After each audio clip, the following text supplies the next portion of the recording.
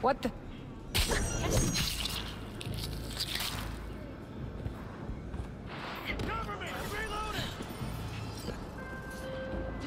And the Spirit of the Lord came upon him, and he went down to Ashkelon and slew thirty men.